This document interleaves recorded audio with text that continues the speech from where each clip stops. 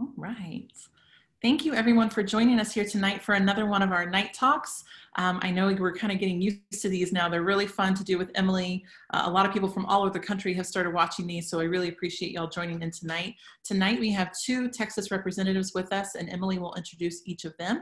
If you have a question during the conversation, please be sure to use the Q&A window down at the bottom, and then you can also use the chat window as well to talk with any of us or to talk with each other. Uh, please keep it uh, safe and sane, and we will make sure to address as many of your questions as we possibly can. Emily? Great. Uh, good evening, everyone. And um, as Anna said, I'm super excited. We have um, two of our representatives who, as you can imagine, are incredibly busy right now in their own districts.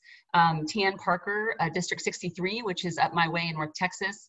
Um, I will say for all of you that are selling products outside of regular food, you can thank him um, because he actually partnered with me to get the retail waiver put in place um, that allows our restaurants to actually sell abroad um, set of goods, which I think is helping from a revenue standpoint. It's also helping our consumers in some of our harder hit areas to actually have access and resources to things they need. Um, so welcome. And um, second, we have um, Eddie Rodriguez, who is from District 51 down on the Austin area. Um, we had not had a chance to meet before either, before the crisis began. And he was one of the first to reach out and actually have really thoughtful questions about how we got the restaurants in his area through this crisis. Um, and so we had a chance to have a number of conversations, and he's been just such a champion for the sector as well. So thank you both for being here tonight. Um, I get to kick it off, I guess, because I get to uh, uh, be in the driver's seat to start. But you know, I just want to maybe just set the stage for everyone who's listening. Um, if we just try to go back to January 1st, and 2020 was going to be this amazing year, and as you looked across Texas, we had about 50,000 eating and drinking establishments we employed close to 1.4 million people. I think it was second in the state. And last year we contributed 70 billion in sales. So we were just sort of this monster and this engine in the state. And frankly, we were really thriving. Whether you were chain or independent, life was really good. Fast forward to today. We currently have two fifths of our operators have closed one or more of their restaurants. The industry, as of the end of April, is projecting to lose 700,000 jobs in Texas alone. Sales are projected to decline by 70%. We have some, of course, restaurants that have completely closed down, but those that are operating may be running, running at 20 to 30% of the revenue they used to. And more than one third of restaurants are actually going to continue to lay off more people if the closed dining room goes past April 30th. So the numbers are staggering, but what I always try to balance is the numbers with I know what you hear a lot, which is stories from the people who live within your districts. So um, I'm going to read a couple to you just to, to make sure we start where we are today. I've been in business since 1975. We built and opened a multi-unit venue just 18 months ago. It is actually the livelihoods of all their employees and their families are, uh, are, are relying on our existence. We need help and we need help now or none of us will make it through this. We felt we feel left out and we feel we have no hope. We've been working for 10 years as an entrepreneur to build a business what are you going to do to help Texans like me? This is my industry, it's my life, and I'm about to lose everything. So, as we start just here, for our restaurant owners, our operators, and our employees, you know, here we are. What comments do you have? And maybe I'll start with you, um, um, Representative Rodriguez, and kind of if you hear this and you see the data and you feel the pain that we feel every single day, maybe just some opening comments because I know you've been deeply engaged in this in your own area.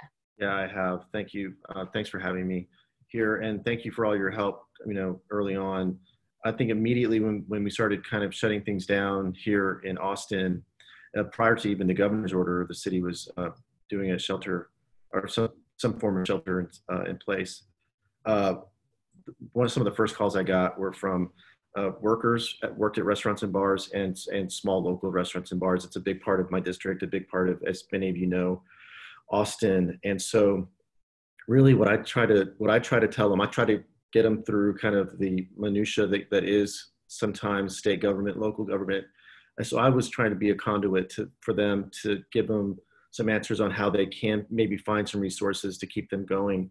And then, then I just basically try to, to talk to folks like you um, and, and others, but also use my network of, of uh, you know, social media and then the network of people that I know about making sure that people understand that these restaurants are still can still serve food. They're going to try maybe try to do curbside or anything like that, and really pushing that on social media and making sure that people understand that these are our neighbors and our friends, and that um, one of the things that we can do now. Granted, not everyone is in a situation um, like perhaps many of us are, where we can't afford to go out to to eat or to go, you know, pick, go go get some uh, food for uh, delivery or pickup uh, once a week or twice a week. And in my case, I try to, you know, maybe three or four times a week if I can.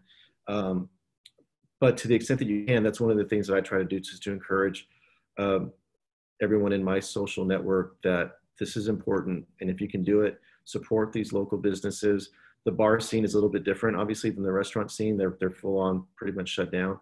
Mm-hmm. Um, and I think it's been for, for me and for here in Austin, people have responded very well because people love their local restaurants and they're, they're going and I know that the businesses are still suffering greatly and they've let go of a majority of a lot of their staff. And some of them is pretty much shut down, as you may have heard. Threadgill's one of the mainstays here in Austin is now no more, which is uh, hard to even think of. Um, and so anyway, that's that's the kind of hope I try to give and just try to be a resource for, for them. Excellent. Great. Great. Tan? Well, first of all, Emily, thank you for your leadership. Uh, you've been extraordinary, and I'm so proud of you and your team and all you're doing every day to help all of our restaurants across the state you know, look, I'm a small business owner myself, Emily, and I, and so I understand the pain uh, that all these small businesses are going through. Uh, my family for over 40 years was in the restaurant business. It provided a livelihood for my family. And so I understand deeply the challenges these restaurants are facing. Uh, from the time I, my young, earliest memories in life, really as a teenager, were working in the restaurants, right? And uh, working in the kitchens and bussing tables and waiting and serving. And so restaurants have always been a critical part of our communities. Uh, you know, they give so much. I mean, even today in this horribly challenging time, the restaurants in my district are giving back and helping people without food. They're, they're, they're providing resources to all these food banks in the area and the region, and they do it so selflessly. It's extraordinary when they're hurting so badly themselves.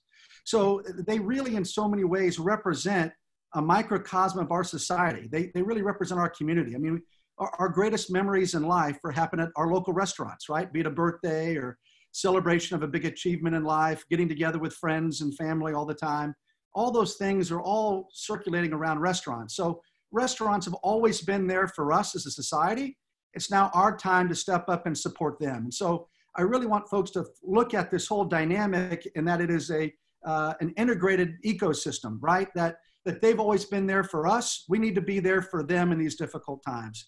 Uh, just like Eddie said a moment ago, I try to be a conduit to what my restaurants are telling me, what they're saying, what, they're, what I'm hearing, so then I can communicate effectively with our state agencies, obviously with the governor and his office, all of our elected officials, so we can make certain that we are taking care of everybody as best we possibly can.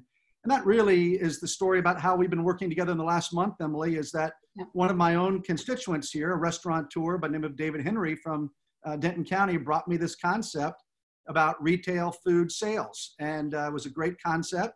And so I kind of working with you and the governor's office and our agencies, uh, it's a prime example of how Eddie and myself and our other colleagues can be uh, supportive is to listen to the need. And then we mm-hmm. saw the fact that, my goodness, we had this incredible restaurant supply chain that was, was backed up. You had all this food that was on the verge of spoilage. You had an opportunity to be able to help all of these restaurants with, you know, trying to have a little bit more margin, a little bit more money at the end of the day to take care of more employees. And, and so, you know, it's these kinds of things that we just are in this together. That's our message collectively is we got to work together to continue to find solutions. Uh, our doors are open to, to hear from everybody every day around the clock on whatever we can do to help alleviate the pain in some degree that's currently taking place. And of course, we, we can't wait to, to, the day that we can open up. Uh, hopefully it's very, very soon. And we can do so in a way that's safe and responsible, that we protect our economy and all these businesses that we know are hurting so badly, and we understand that so deeply as small business people, but at the same time, do it in a sensible and smart way that protects everybody so we can have a sustainable recovery for the restaurants and for the entire economy. Yeah, thank you. Very well said. And I and I think that's correct. I think it's the idea that we need to be smart. We've seen other states leap forward in some, some cases, maybe a couple of days notice um, they're throwing the doors open on these businesses. And not only are our restaurants not ready, but I think it's going to be a false alarm in some cases, and it actually could set them back. Um, because we need that's to be the last thing we want to do is set them back, right? It's got to be we got to do it intelligently so we do not set them back. That's exactly right. And, and, you can see as an association, we've been deeply engaged in the federal issues of making sure we had additional PPP money that now we're working very hard on the guidelines. Um, you know, our congressional delegation has been great partners to the sector. And, but you see us now pivoting right to the state, which is, um, you know, I guess the number one question people are going to want to know is, do you have any insight of when we'll be able to open? And so I know the governor had a conference call today. So um, I'm not sure. I know the announcement is allegedly Monday, and I think he's being very thoughtful and taking as much insight as he can. Um, but have you heard any rumblings about when that might be? Eddie, if you want to go first. Um, I not not not specifically, nothing that I can actually share. I think uh, I think that the governor is listening to uh, our medical, uh, our healthcare experts, and I think if it, when that does happen, if it if it happens very soon, it will be with the guidance of um, with our healthcare experts out there. I think it has to, and I certainly hope that there's going to be it'll be enough runway so that the restaurants can better prepare on how they're going to gradually reopen and how that's going to look, and maybe some kind of standard. I'm hope, hopeful that there's some kind of standard that would be uh, beneficial to uh, some of the larger maybe chain restaurants that do have the drive-through capacity, and then of course those that that never had a drive-through at all. That this the smaller mom and pops right. that only have the dine the dine in, and how they can succeed uh, once we do open and, and prepare to rehire at whatever pace they might need to rehire. But I'm, but it needs to be done thoughtfully for sure. Yeah, and I'll kind of take that from the, the rehiring part, right? So you're seeing restaurants now with some of the enhanced unemployment benefits that are available through the COVID crisis. Um, we're starting to catch wind of not just our sector, but many sectors where um, we're finding it very difficult to bring employees back.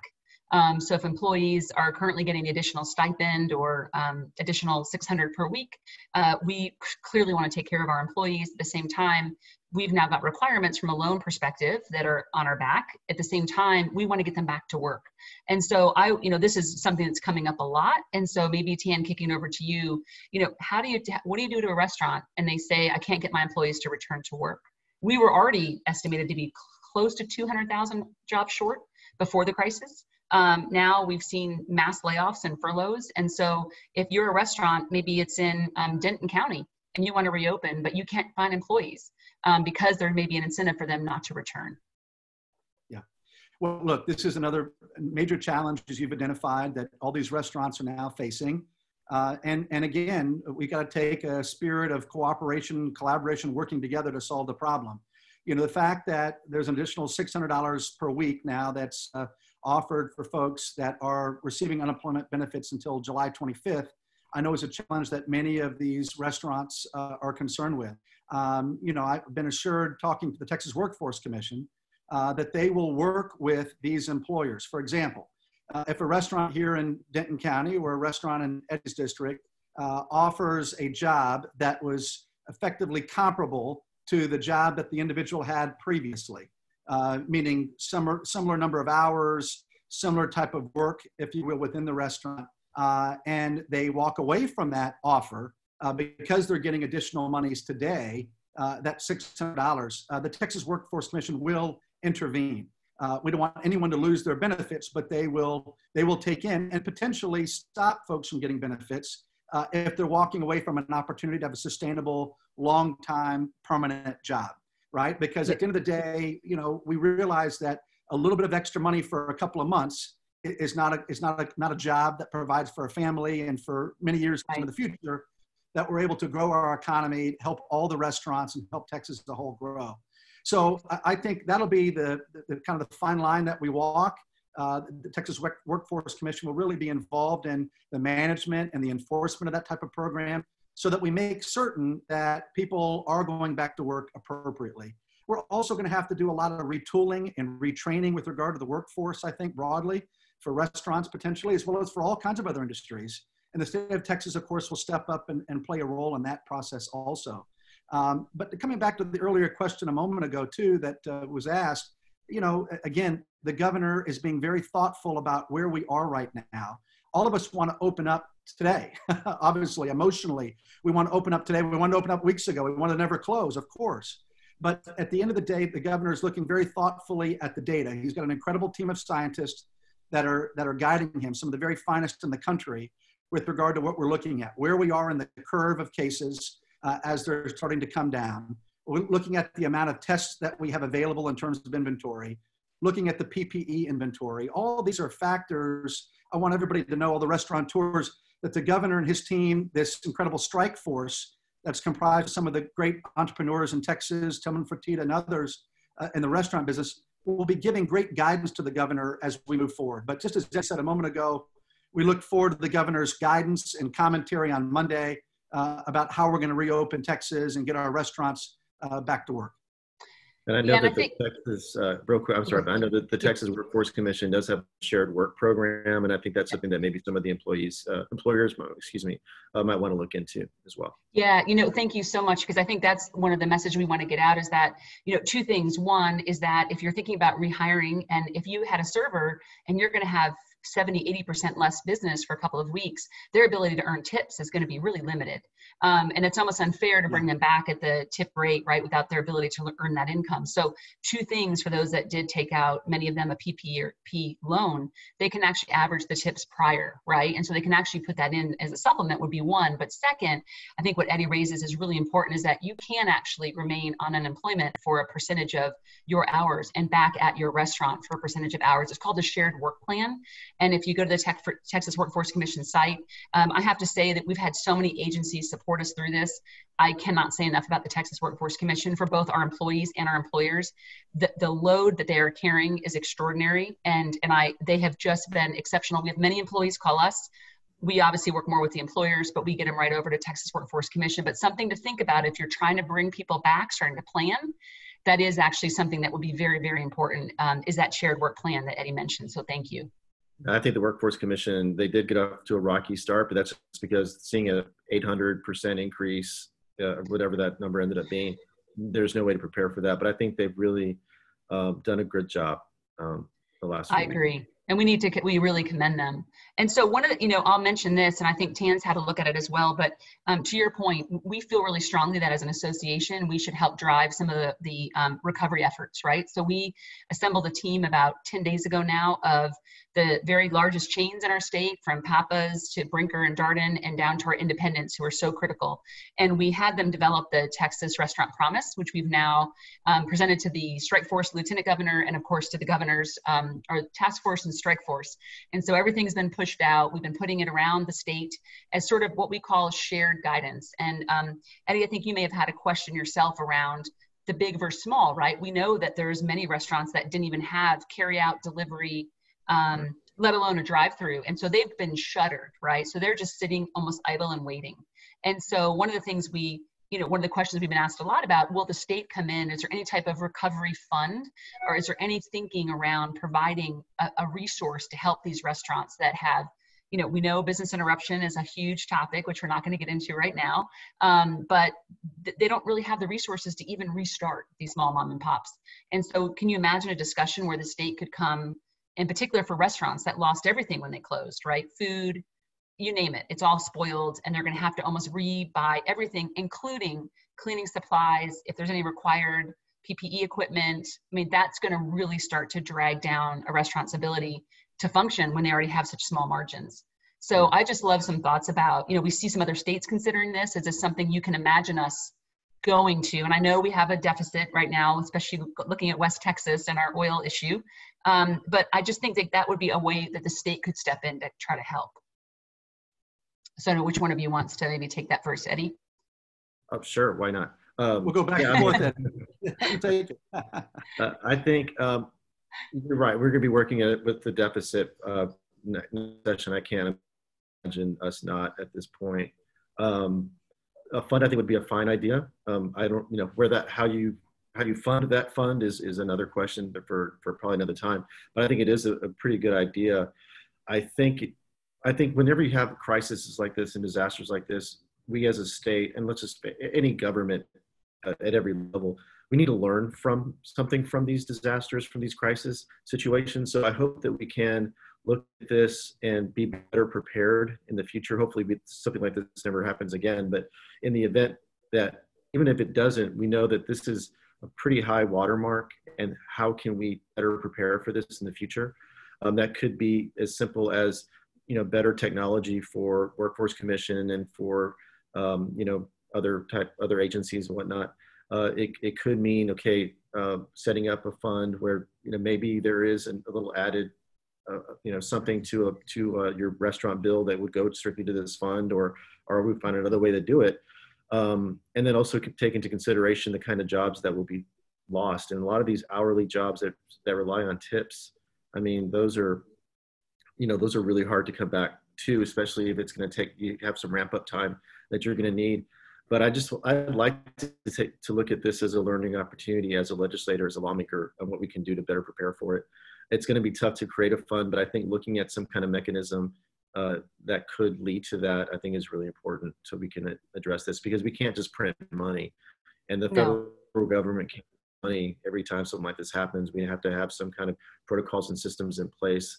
Uh, I'm not saying exactly what all that is right now. I'm just saying that it's something sure. that we, uh, that certainly I as a lawmaker need to look at how we can prepare for something like this in the future. Yeah, and I think you know one of the things we thought about too was um, there's a lot of funding coming down to help in the healthcare and hospital arena, and in some cases, you know, there's very large sums of money coming to the state. And so as you think about the restaurant's role and having to, you know, we've always been really guarded by the health departments, right? They govern what we do, the health departments across the state. So we are one of the most regulated businesses when it comes to keep people safe as they're eating, if not the most. So this is what we do. I try to tell people that want to put really harsh guidelines that we're, we're not a group of accountants, no disrespect, right? That's trying to open a restaurant next week. Um, this is really what we do for a living. And so, but we're going to have a lot of additional cleaning and a lot of additional things that we're going to have to do, whether it's restaurants, but if I include my friends in hotels, um, think about amusement parks and a lot of the big revenue generating areas of the state. Is there an opportunity to maybe look at some of that that may go to health and human services as an idea that we thought about that we could put a, almost a um, a continuation program together, right? So so we have this cleaning and and all the rules we've written down that people will follow but then how do you sustain that long term? Is there an opportunity maybe to have us ha- create something with the health and human services department or state department of health and create something that would be in the restaurants um, as a way to f- help fund all the things that they're going to have to pay for? Initially is it maybe a recovery fund but long term i think we've got to solidify these practices because i think the worst thing we can do is have a bounce back right. And if we sit in the fall and have the same situation so yeah, Tana, no, if you I, want to take that one. No, no, look, I, I agree with everything. Eddie's comments were spot on. We want to learn from these uh, experiences. We want to do everything in our power to try to address the pain and the suffering and to be able to help uh, these businesses get back on their feet. I mean, again, I can't stress to you enough and everybody listening tonight is that we really understand how painful it is uh, and, and, that it's horribly difficult and challenging right now. You know, look, I, I think in terms of a fund, uh, you know, I think generally speaking, the public at large would be open to voluntarily uh, looking at giving an extra dollar or something, a kind of a like a tip uh, that goes to a fund, perhaps that goes to help all the restaurants in the state of Texas. I mean, something along those lines mm-hmm. that is respectful to the taxpayer and allows people to voluntarily help the restaurants. Uh, I think might make some real sense.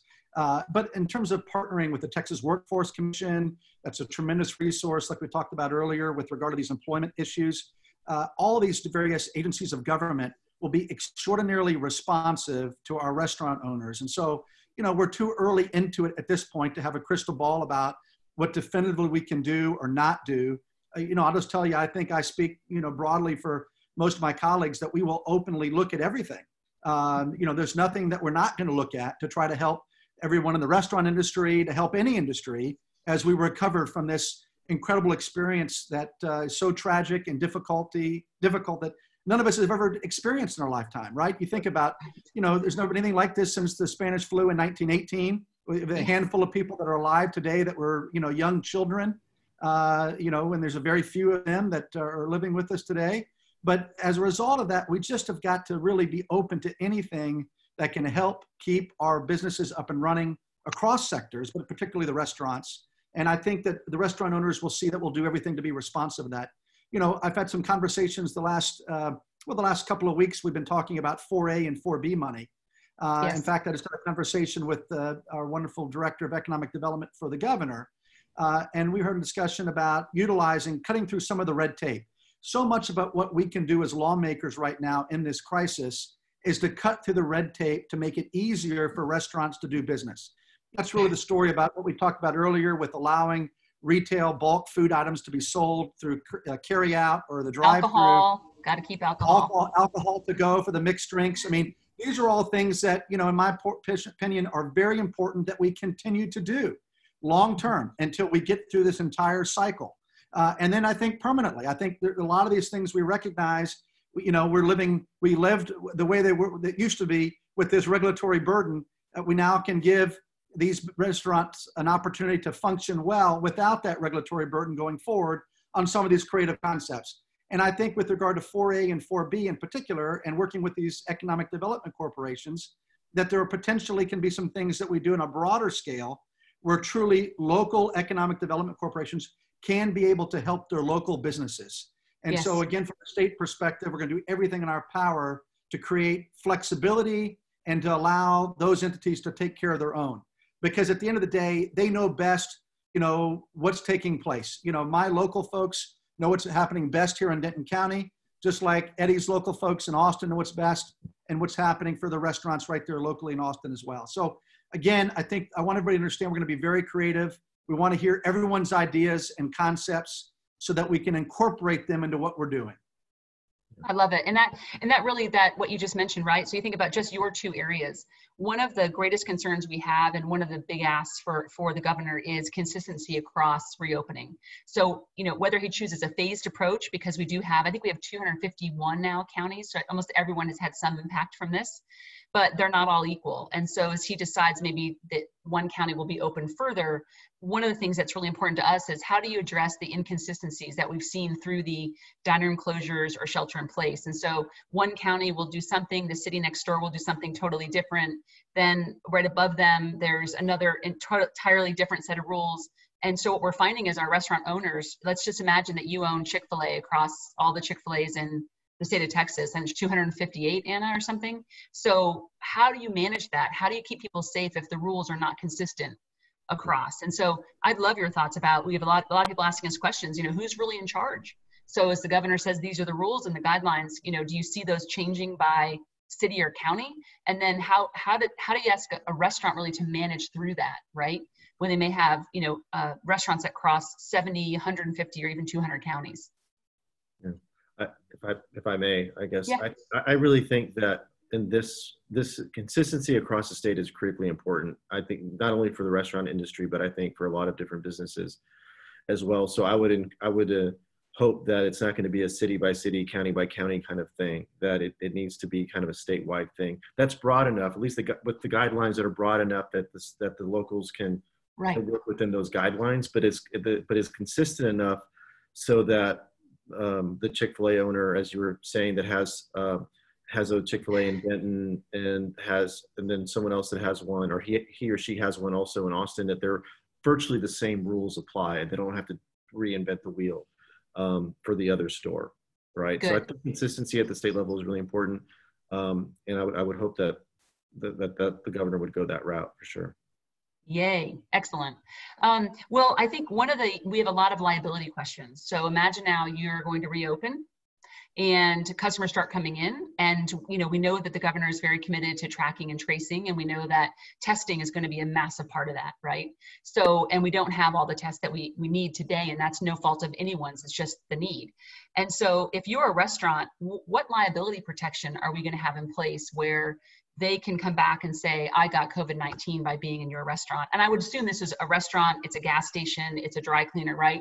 But for us, you know, this is coming up quite a bit, which is have we thought through liability protection or how does a restaurant know someone's not going to come back and sue them um, because they claim they got sick on or sitting in that dining room?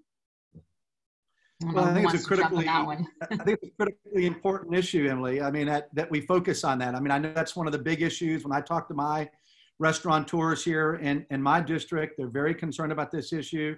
Uh, the president himself, uh, just in the last couple of days, has been talking about passing comprehensive um, you know, liability reform to address this very issue across the country.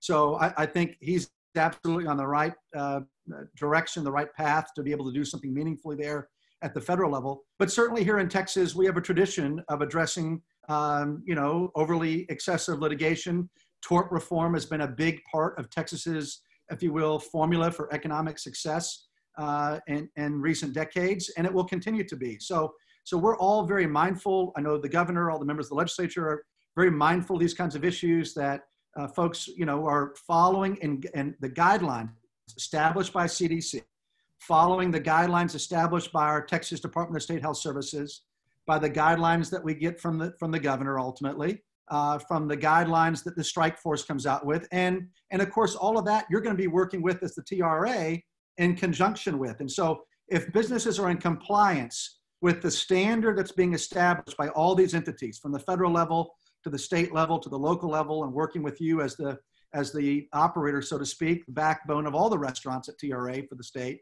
then, then I think they need to have that level of certainty and protection. Yes. But that's one thing they don't need to worry about, right? They're worried enough about trying to squeak out a livable margin to provide a living for all of these employees.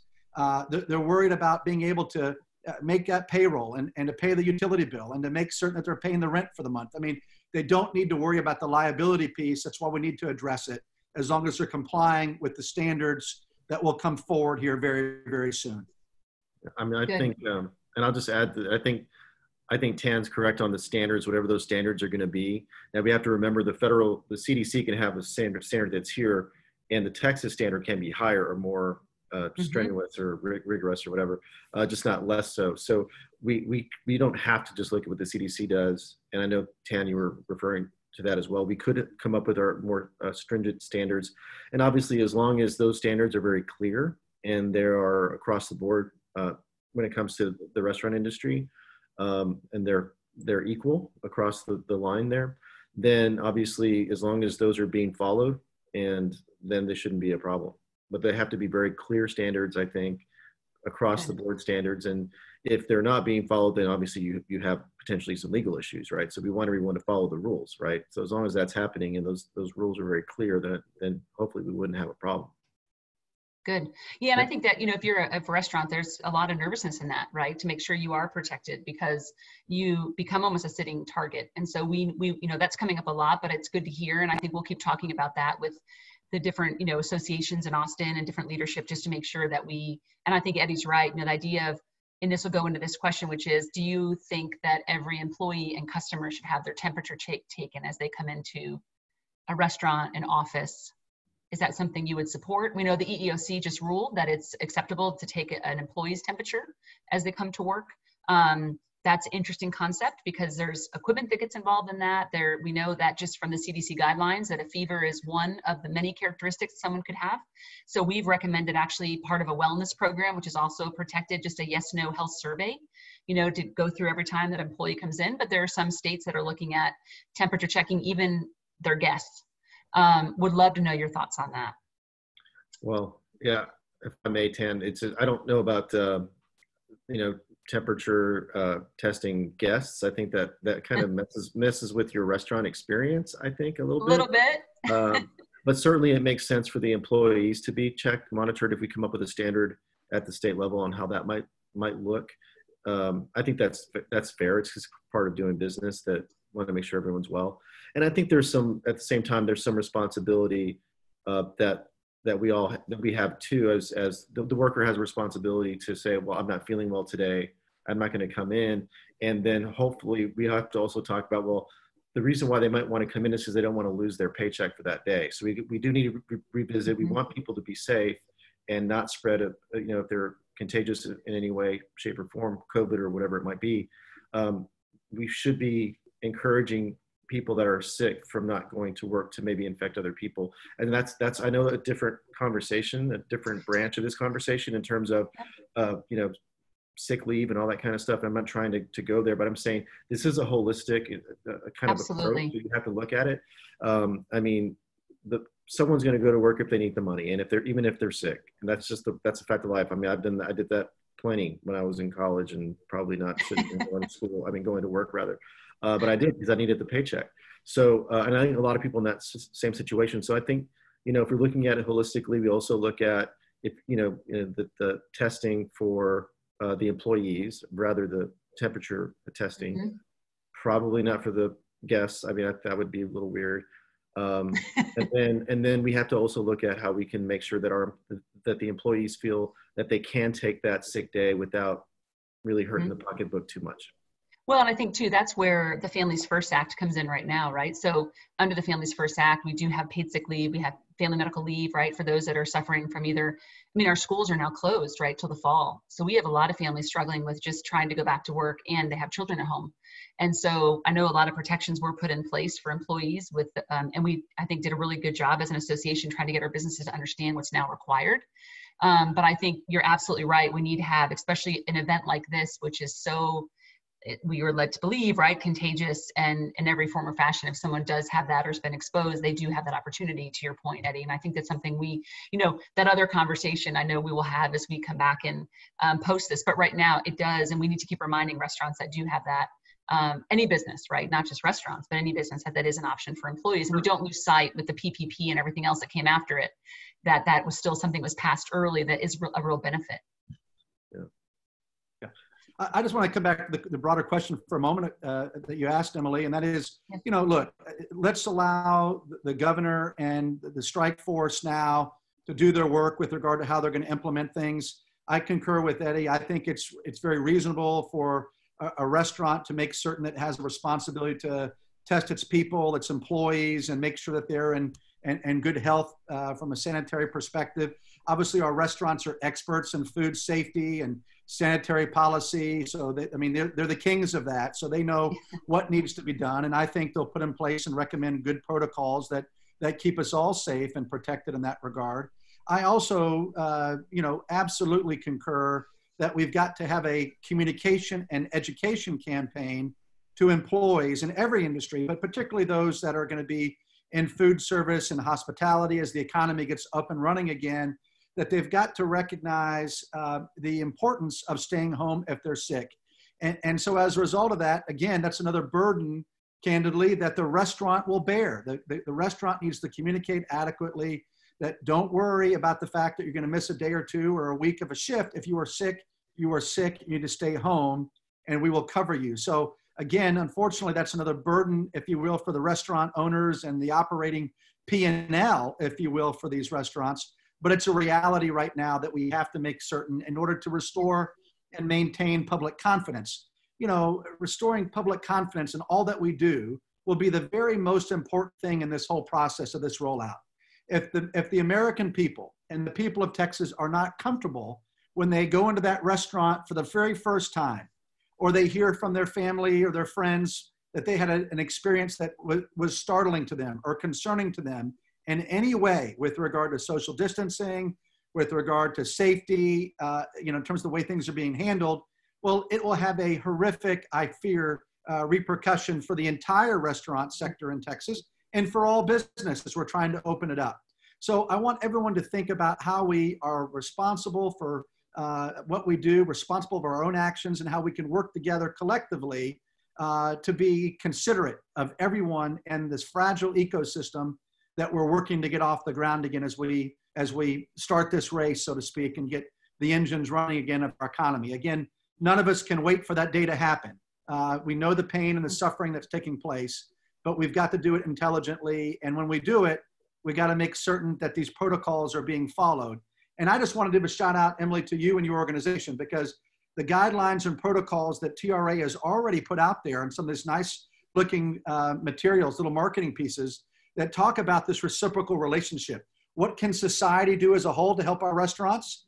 And, and, and the pledge from society to the restaurants, just like in the inverse, the pledge that the restaurant makes to society to be able to maintain safety and quality and, and all that during this difficult time. So again, I think that's the most essential thing is having consumers be comfortable and confident that they're having a great meal, a wonderful experience, and that safety has been maintained to the highest degree in every aspect of the experience. Yeah, and I'll make a comment on that because I think um, someone had written up about the NRA and um, um, lots of different organizations. So what we did was we assembled that I call it task force. And what was amazing when you're on Zoom is you can actually see direct competitors looking at each other, and we're all talking about the same issue how do we keep people safe so just like tonight right politics doesn't matter competitors don't matter it's really about just restaurants and we're all behind restaurants um, we actually took all the work it's we did texas. it's about it's about texas right it's about Yeah. texas it's about america and all of us coming together to help this incredibly important sector, right? Help yep, absolutely. And it doesn't, and that's what I've loved, right? I think the unity that you've seen this, and you mentioned it too, is as much as we're hurting, restaurants are the ones that are still stepping up, right, and feeding others and taking care of others. Oh, but we actually took day, all the health. Every day they're volunteering. Yeah, and so we took the health information and the um, ServSafe, which is the leader of all the food training in the nation, um, and we actually took all their data as well and really put together for the governor. Um, just to answer the one question I saw come up, this very comprehensive plan, which was this is how we think we should deal with these things. Here's the science behind it. Here's the health behind it. So we delivered the strike force and um, the governor's office a very comprehensive package that our new head of government affairs helped put together. Um, I'm really proud of it, and I I think it's it's we're so far ahead of other industries right now, and other states are really looking at Texas, and they should as the leader.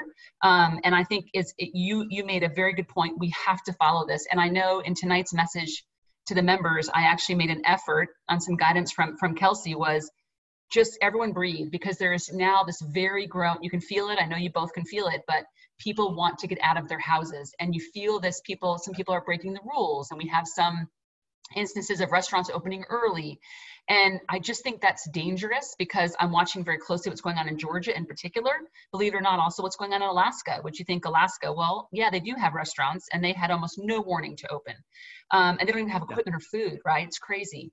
So i think you know i think that you know how you can help us is sort of we know that the day is coming but we have to do this right. And, and if we don't we're going to screw it up and it's not that the government is against anybody it's just that we have been locked in closed down and the minute those doors go open we don't know what's going to happen so doing it in a very controlled way i think really matters especially as i think about eddie with so many small restaurants in austin and they I mean, your area's really been hit hard, right? We've seen uh, uh, so many of the closures. We've seen independents have come from you, Magnolia, South by Southwest, or North by Northwest Brewery. Veracruz Taco. This is just in the last week. Yeah. And so, you know, I kind of would love your thoughts of how, how are you going to help? What's going to be your message? Let's say Monday when they, the governor comes on and says, next Monday, restaurants are open. Here are the guidelines. Go. you know, we're already taking a breath because we know it's going to be just wild.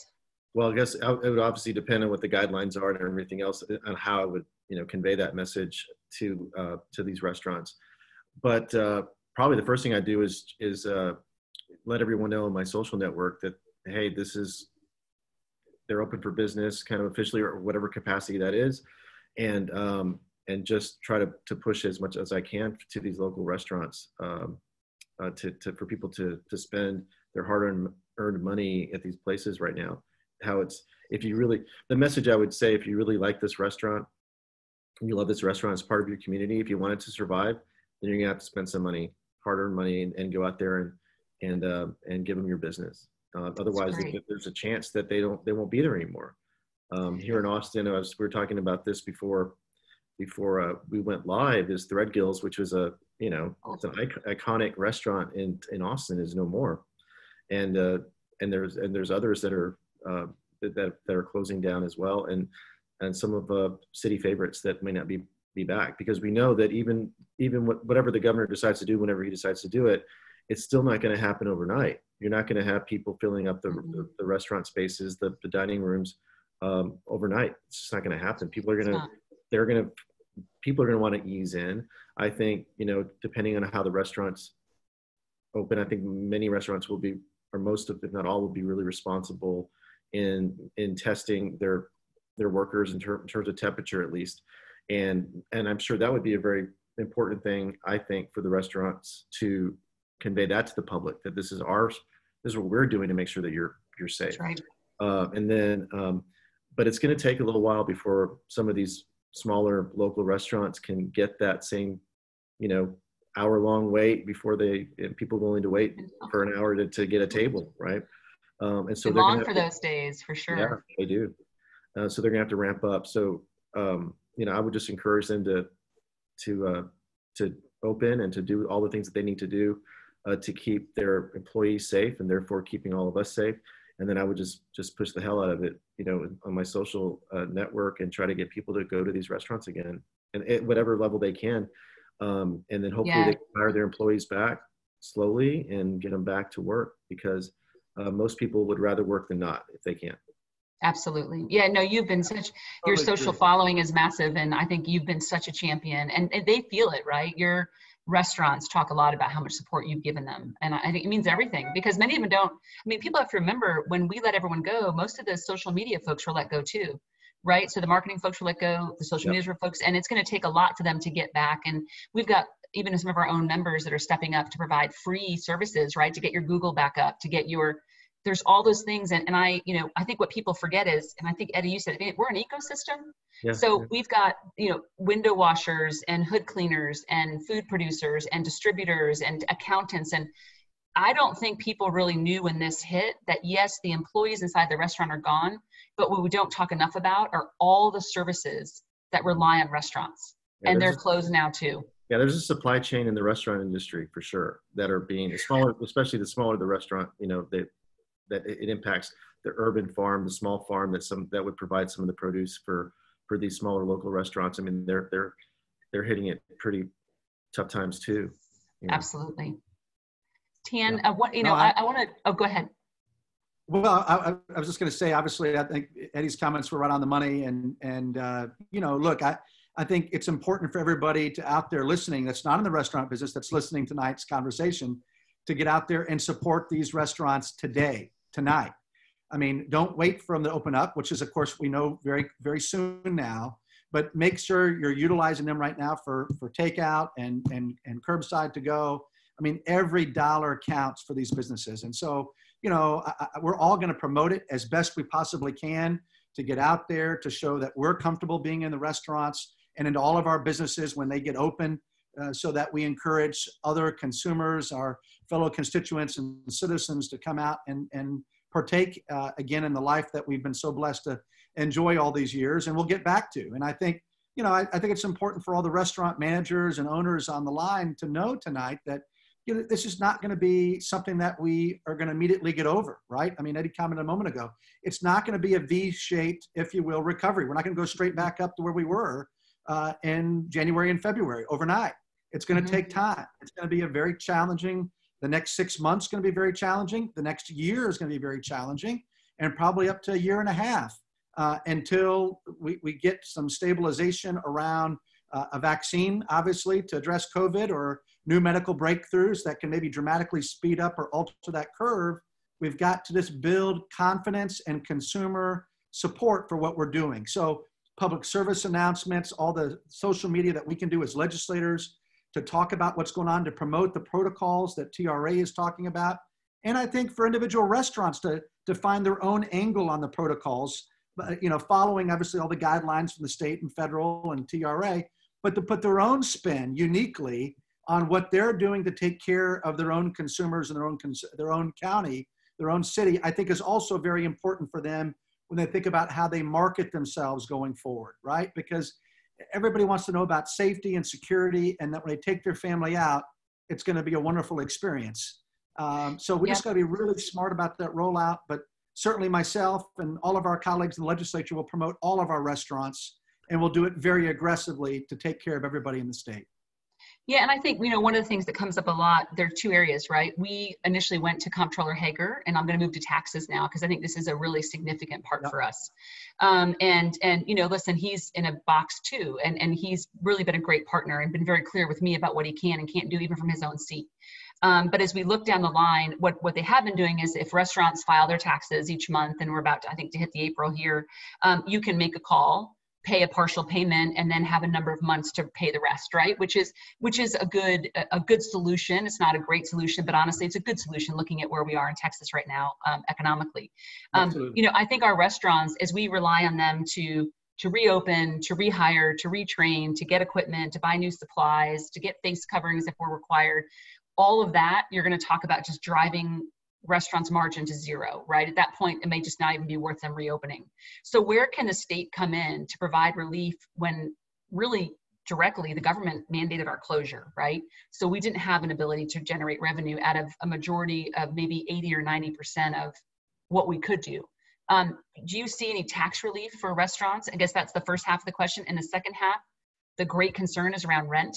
And, and in some states, and whether it has teeth or not is a good question, but you know, protection from being evicted. Um, and I know there's a long line, right? You have to pay your rent, and that landlord has to pay their bill. I appreciate all that, but looking at a restaurant today, that could have to vacate that space because they need a couple months to get their feet under them what kind of protection could you imagine putting in place so i think there's those are kind of more meaty things i think that we as a state can do for the for the sector what are, you know taxes and sort of eviction protection where do you both fall on that i don't know who wants to start who do you want to go first? I will, we'll, let can- Tan, we'll let Tan go first. All Tan has two flags, so He's Tan got gets two to flags on there. That's a- that's a- disregard that. Disregard that, brother. Disregard that. Listen. So I, I, I think first of all, with regard to tax policy and what we can do there. Look, let me let me say this. We're obviously in unprecedented waters that we are currently navigating. We know we've got an enormous hit to our sales tax collection that's occurred obviously in March and in April. We've got uh, unprecedented challenges in the history of the state and the nation with regard to where we are with the oil sector. So we have all kinds of things that are coming at us. What I will tell you is, is that you know there's nothing that we're going to say no to at this point. We're going to be very uh, open and we want to listen and we're going to be creative. We're going to try to find and look for ways, working with our comptroller, uh, working with the governor, working with obviously members of the Senate, members of the House, to find ways that we can be creative to be able to help address the pain that all of these businesses, restaurant sector, and otherwise uh, are going to be feeling. And, and so I was very pleased with the flexibility, Emily, that you talked about a few minutes ago that Mhm. the comptroller's office did provide. Uh, and that a big part of that is communicating, right? When a restaurant is having difficulty, please communicate. Uh, communicate to your local elected officials, communicate to your, your lawmakers, communicate to TRA. Let everybody know what you're going through so we can talk through it. But but I'll just simply tell you that, you know, when it comes to tax incentives, tax policy, and so forth, as it pertains to trying to provide incentive and help, I'm just saying nothing is off the table. We will look at everything here. It's too early to determine what we can do or not do at this point, but but we're open and we're listening. That's the first thing I would say there. With regard to the topic around evictions, uh, with Mhm. regard to foreclosure, with regard to repossession of equipment, these are issues that uh, that we're all very concerned with. I've been having these conversations with uh, the governor's team uh, on these issues. I know many of us have uh, over the course of the last four or five weeks because you talked about it earlier at the beginning of the call. The PPP money, the EIDL money, these things that are coming from the federal government, we're very thankful for them, but they're not flowing in many cases fast enough. And, and we recognize that. So, how do we address that? So, you know, my message is to all the banks, to all the consumer finance companies out there. Again, as you said, Emily, we understand the connected ecosystem that they have to live within. But my hope is that every bank and consumer finance company will work with their local restaurants and give them every benefit to uh, extend the life, to extend an opportunity for them to be survival, to have survival, and to make it through this time, and to work in a collaborative way when they work through these challenges. Because no one wins. If we're shutting down restaurants due to foreclosure, let me tell you, that landlord is not going to be happy about it. That landlord or shareholders are not going to be happy about it. All those employees are not happy about it. The taxpayer in Texas is not happy about it. It's all interconnected. And so, again, my hope and my prayer is that the banks and the consumer finance companies, uh, when it comes to repossession, when it comes to eviction and so forth, that they will work with these folks, give them every opportunity to be successful and pull through this storm together. Because at the end of the day, uh, it, that is the best way to protect Texas, to protect our way of life, our economy as a whole, and to be respectful to the taxpayer. And at the same time, take care of our entrepreneurs and all these folks that are on the front lines. So we just have got to work together and, and be intelligent about what we do. And, and certainly from a legislative perspective, you know, I want restaurants to reach out to me. Restaurants in my district, all the members want to hear about uh, the challenges that they're dealing with. Eddie's talked about that with the restaurant challenges in Austin. Please tell us what you're dealing with so we can help be an advocate on your behalf uh, with regard to all of these Excellent. issues. Again, at this point, there's nothing that's off limits. Uh, we're open to all of these scenarios.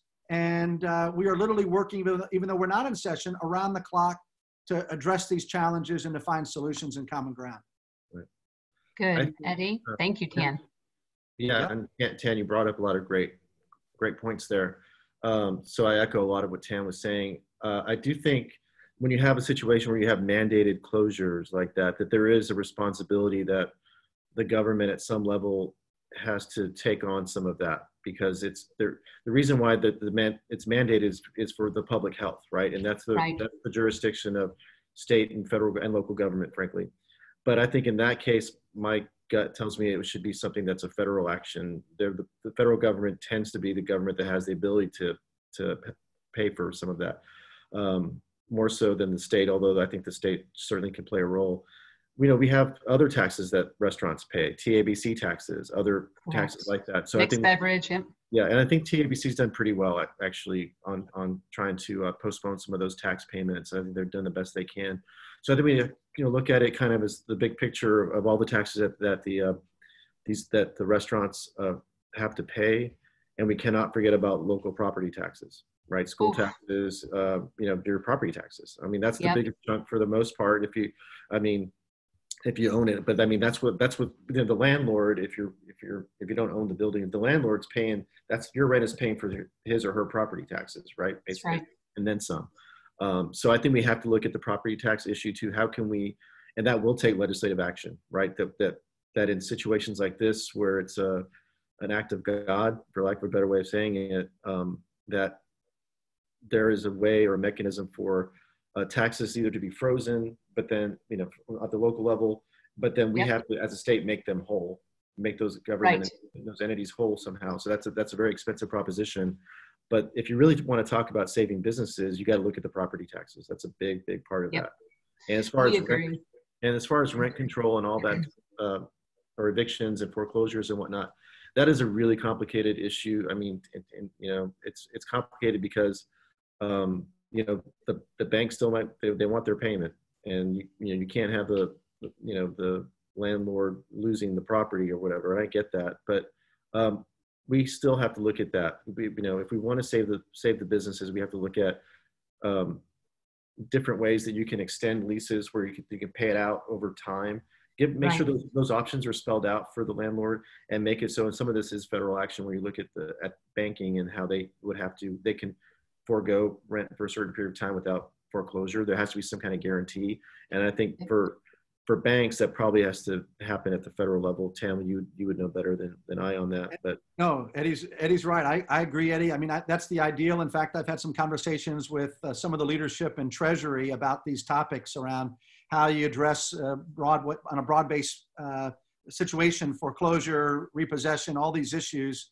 Um, and and that's exactly right. I think it is most elegant for the federal government to act in those areas 100%.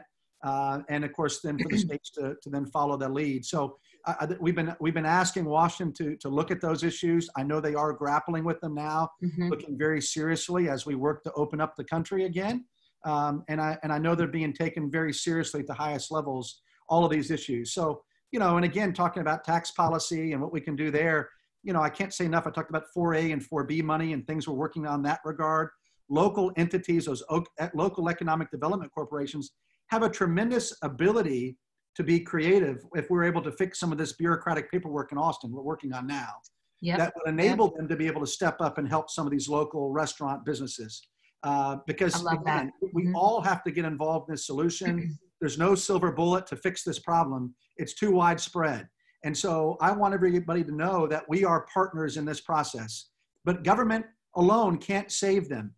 They've been incredibly successful historically as operators. It's their excellence, it's the quality of the product, the passion that they bring to the table every day when they serve their customers and take care of their employees. Just as they found successful business models to be successful prior to COVID, they're going to have to adapt and do the same thing. And we're here as a partner to support them.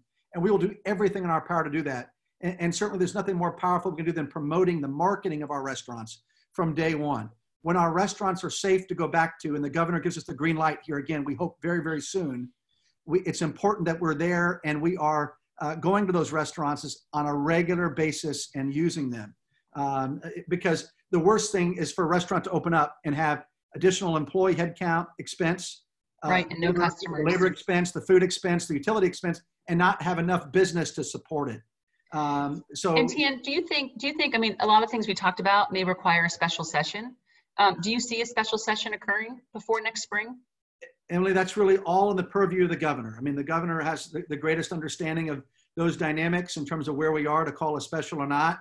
Um, and, and I think, you know, he'll be very responsive to what, what the developments are on the ground, right? As we go through this cycle, Yeah. if he feels it's appropriate or not. Okay, good. So let me, um, I am going to touch on business interruption because I think it's a critical issue. Um, Anna, can I have like just one question left? Just letting you know. Okay, and, and, I know because it's an important one, and Tan, I know we've actually had some discussions with the federal team on this as well. Um, so we've already seen that whether you had virus coverage or not, your policy could look one of a hundred ways. It was denied, right?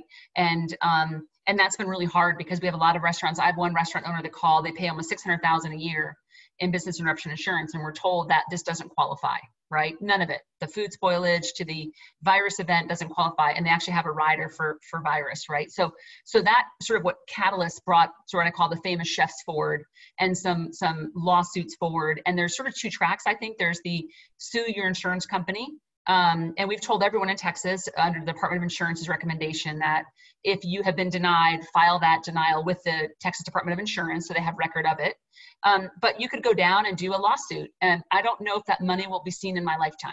That's just my experience with looking at Katrina or Sandy or BP or anything. Then there's this idea, something I think you've also kind of thought through with me a little bit is, is there a, a way to have business interruption insurance in the next round of federal funding, right? Is there some way to make these businesses whole? Because as Eddie pointed to, you know, I, I'll say this as sort of a Article 5 and takings, right? But we were closed. We couldn't generate revenue um, we use the insurance we paid in, whether or not you can change a word or two and tell people they're denied. And this is such a serious issue. You can even hear the president in a couple of his remarks talk about business interruption related to restaurants. Um, where do you see the state's engagement in this? Um, you know, does the state have a role? Does the governor have a role to play in in thinking about business interruption insurance and sort of what's happening? Because I can tell you right now, there isn't a restaurant or business I have found in Texas that has been awarded their business interruption insurance. And we've got probably hundreds of thousands of businesses now that have filed. So I just love your comments you, on this one. You want Eddie to go or first, or you want me to go? go? Tan, you go ahead and go, Tan. Okay. Um, well, look, I mean, th this is again another critically important element, uh, piece of the puzzle. And Emily, you and I have been working on a concept that came from one of our your, our fellow restaurateurs uh, mm-hmm. in Texas around business Very continuity smart. insurance. Uh, a brilliant gentleman that had a great idea, and, and we've been sharing that concept with Treasury. I've been sharing it with members of Congress uh, uh, in the House and the Senate, uh, and and it's and along with NFIB, right? NFIB is very supportive of this kind of concept uh, at, at the state level and also at the federal level. And so my view is that we need Washington to lead on the issue uh, first. That, that's my view is that I hope that we'll see in some of these relief packages uh, you know, today, of course, the additional money for the PPP program uh, was allocated and passed by the House. Now it's gone to the president.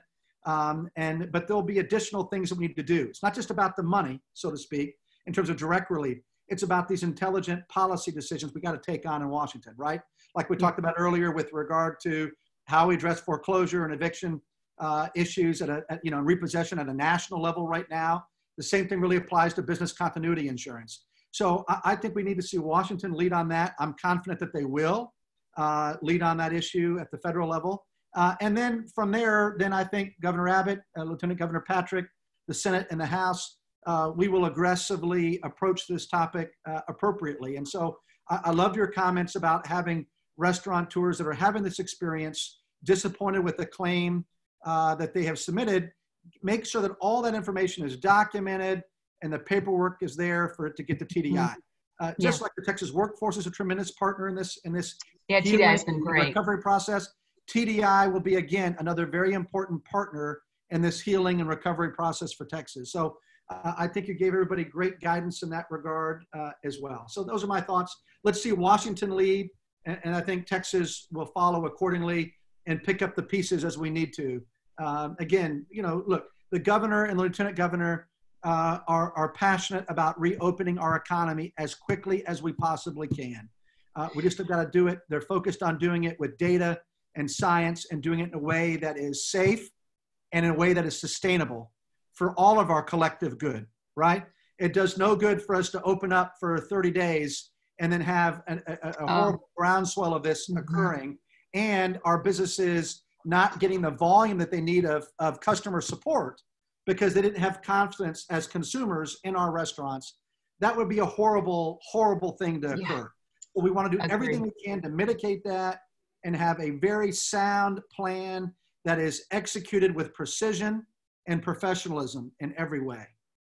Well, the business, the business continuity issue, I agree with Tan. You can't do that piecemeal. It it really has to be a federal, addressed at a federal level. So it's, it's, it's uh, uniform throughout the country.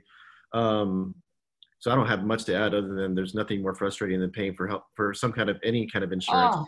and then not getting what you're paying for. I mean, and, and then you get a letter saying a fungi is different from a bacteria, which is different from a virus. I'm like, Yeah. well, I'm not a scientist, but I thought I was buying a Oh, policy if my business got interrupted. So, you know, and I think I'll share this with everyone listening. Like, this is a huge thing on my like I'm this is a big deal for me. So whether it's federal and state for some reason, and I Tan knows, we've got a gentleman that's part of our industry actually that came up with I think a brilliant concept.